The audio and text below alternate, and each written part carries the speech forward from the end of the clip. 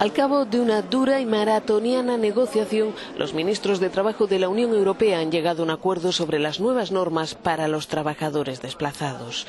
El acuerdo supone que los trabajadores enviados por su empresa a otro país comunitario cobrarán lo mismo que los locales y en las mismas condiciones. Además, solo podrán ser considerados desplazados durante un año antes de pasar a cotizar en el país de destino.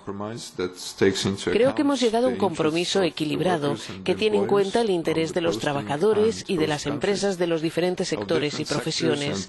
Se protegen los derechos de los empleados sin interrumpir la libre circulación de servicios, decía el ministro de Trabajo de Estonia. Uno de los grandes escollos para el acuerdo fue el transporte por carretera, por lo que a propuesta de Francia y España estos trabajadores han quedado al margen del compromiso y serán objeto de normas específicas.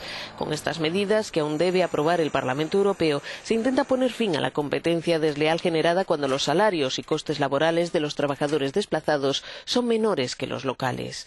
A través de las redes sociales, el presidente francés Emmanuel Macron ha celebrado un acuerdo ambicioso. Europa avanza, dice, más protección, menos fraudes. De hecho, Francia ha sido el país que ha impulsado la reforma, lo que ha valido una enconada batalla con algunos países del este de Europa, en particular con Polonia.